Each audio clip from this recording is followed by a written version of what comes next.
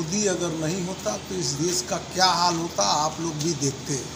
क्या संजोग की बात है कि हम लोगों के समय में राम मंदिर बन रहा है 370 हटा, उसके बाद मोदी जैसा प्रधानमंत्री मिला।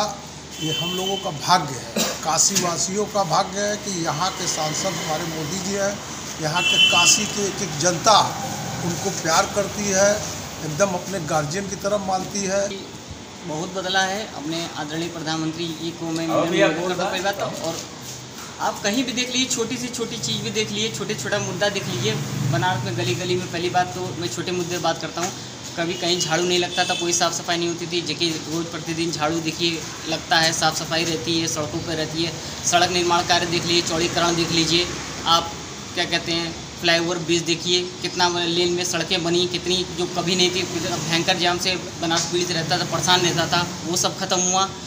फिर उसके बाद विश्वनाथ कॉरिडोर आप देख लीजिए, क्या कहते हैं, वहाँ पे देखिए, कितना लोग, क्या कहते हैं, जाम की स्थिति बनती थी, वो सब खत्म हुआ।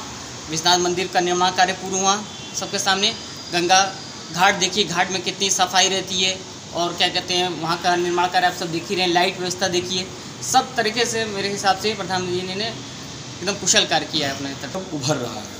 किसी भी लोगों को यदि हम बाहर घूमने जाते हैं, यदि उनको बताते हैं, मैं इंडिया से आया हूँ तो एक गर्व महसूस होता है कि मैं इंडिया का निवासी हूँ। पहले वो स्थिति नहीं थी। मोदी जी और योगी जी ने जो कार्य किया है देश के लिए, कोई भी प्रधानमंत्री ऐसा कार्य नहीं किया, न कोई मुख्यमंत्री किया है। उनके आने से हर चीज़ सुंदर, व्यवस्थित, करप्शन दूर हुआ, चोरी चकारी दूर हुई। पहले महिलाएँ निकलती थी तो छीनेती होती थी। कोई बाइक छीन लिया, कोई चोरी कर लिया, अब क्या है कि आप आपको दो बजे भी आप बनारस में घूमिए, ऐसी कोई दिक्कत नहीं है, आराम से निडर होकर माँ बहनें, बेटियाँ घर से बाहर निकल रही हैं। ये सब योगी जी और मोदी जी की वजह से ही हो रहा है। हम चाह यह मेरे लिए बड़ा सौभाग्य की बात है कि हमारे काशी के सांसद डायरेक्ट प्रधानमंत्री के रूप में हम लोगों को मिले और रहा बात काशी को, बनारस को बदलने की, सबसे पहले मैं ये कहूँगा कि आज जो है एक एक गरीब व्यक्ति को रोज़गार मिल रहा है, इसका कहीं ना कहीं देन और श्रेय प्रधानमंत्री जी को जाता है, हमारे काशी के सांसद को जाता है। आज देखिए, घाटों पे सुंदरीकरण हो रहा है। घाटों पे जो है, मंदिर का जो है सुंदरीकरण हुआ। विश्वनाथ मंदिर आज देखिए कि आज विश्वनाथ कॉरिडोर को लेकर देखिए आज कहाँ पहुँच गया। बाहर से लाखों लोग यहाँ दर्शन करने आ रहे हैं, घाट पर घूमने आ रहे हैं।